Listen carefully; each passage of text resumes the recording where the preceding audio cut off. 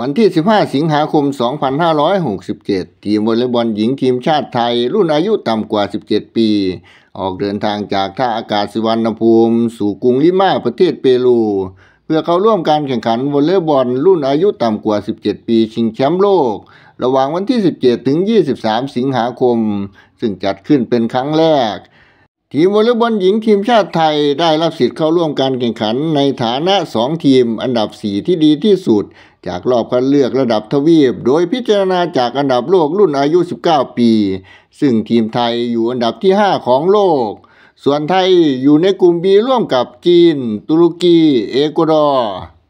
สำหรับโปรแกรมการแข่งขันวันที่ 17 สิงหาคม ทีมชาติไทยพบทีมชาติจีนเวลา 23นาฬิกา นัดที่ 2 วันที่ 18 สิงหาคมเวลา 23นาฬิกาทีมชาติไทยพบเอกวาดอร์และนัดสุดท้ายทีมชาติไทยพบกับตุรกีในวันที่ 19 สิงหาคม เวลา 23นาฬิกา